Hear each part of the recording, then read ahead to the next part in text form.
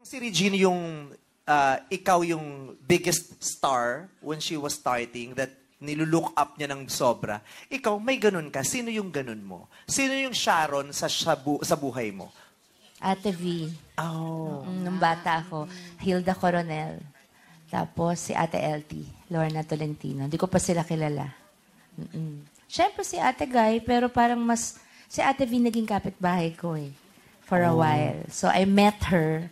I hadn't met Ate Guy. So mas naging kakilala ko. Tsaka maka-Ate V talaga ako. Tapos Hilda Coronel talaga. And Ate L. Dinadalan ko pa siya ng prutas kahit di niya ako kilala.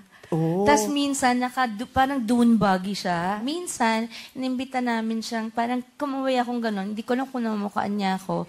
Ang lilit ko pa nun, Diyos ko, grade school pa lang ako. So, umakyat siya. Eh, si mami nandun din, thrilled na thrilled. Tapos, pinainom namin siyang water, ice water. She was very gracious. Sumingi na ako autograph. Tapos, umalis na siya. Yung bakod nila, mababa. Eh, ang liit ni Ate. Hindi. Yung bakod nila, nandun yung swimming pool niya. So, nakaganon ako. Ang ganda-ganda niya talaga naka-bathing suit. Ang kinis-kinis. Talaga? Tapos May chlorine yung swimming pool.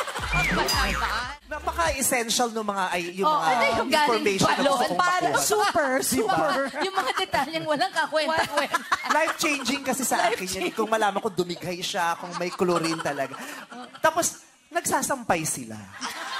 Hindi ko nakikita. Yung mayayaman ba? Nag, kasi, Tago ang sampay na. alam mo kasi nung natira na Hindi ko ako, alam yung sampay niya. natira ako sa lugar ng mayayaman, syempre, ako yung, ako yung pinaka-jolog dun sa lugar. Alam mo, pag umaandar talaga sa akin, gumagano talaga, tumitingin ako kung, saan kaya mga sampayan ito? Wala ako nakikita. Kaya, kaya ang ginajudge ko sila, wala nakasampay. Naku, siguro nag-uulit ng mga damit to. Gusto ko malaman, anong chinelas ni Sharon Cuneta noon? Kasi kami Rambo. Ito na naman. Sa lugar namin, pag islander, mayaman ka.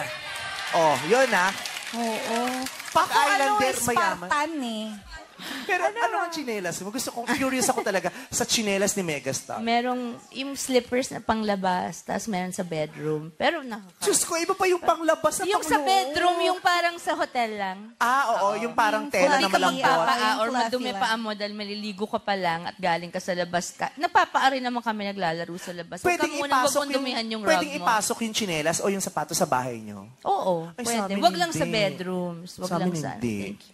No, yung, pero, ang, hindi ko maalala yung brands, basta kung ano binibigay ng mami ko. Pero, tandang-tanda ako, ano ba? Tandang-tanda ako noon, kompleto ako sa lahat ng meron yung candies. Remember that, that ano, yung parang gel, yung iba-ibang kulay Ah, siya. I know, parang, yeah, para siyang gummy bears yung Oo, itsura yes, niya. yes, yes, Yun, yes. may shoes, tsaka may slippers din. Ah, yeah, yeah, Yun, yeah. favorite ko, candies.